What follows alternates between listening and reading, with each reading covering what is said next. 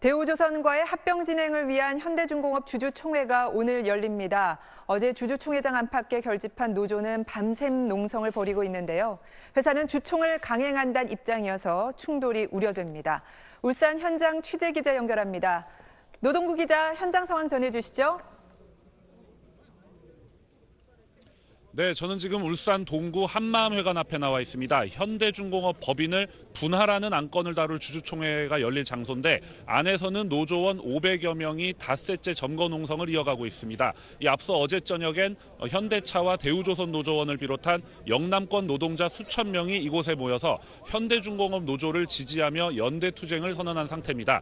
비가 오는 와중에도 자리를 지키며 오늘 오전 10시로 예정된 주주총회를 막으려고 하고 있습니다. 이미 주총장 출입문은 합판 등으로 봉쇄를 해놓은 상황이고 주변에도 오토바이 수백 대를 둘러서 일종의 바리케이드를 만들어 놓은 상황입니다. 이 앞서 울산 법원은 어, 사측이 제기한 주총 방해 금지 가처분 신청과 어, 한마음회관 퇴거 명령을 받아들인 상태입니다.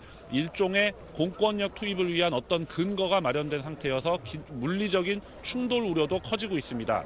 어, 사측은 경비 용역 업체 190여 명과 안내 요원 100명을 확보해 이미 예고했던 대로 오늘 주총을 강행하겠다고 밝힌 상태입니다. 이 노조 측은 노조 측은 사측이 어, 주총장을 바꿀 명분을 만들기 위해서라도 오늘 오전 중에 진입을 시도할 수 있다고 보고 긴장하고 있는 상태입니다. 이 경찰도 이 한마음회관 부지 주변에 경력 4,200여 명을 근접 배치하면서 만일의 사태에 대비하고 있는 모습입니다.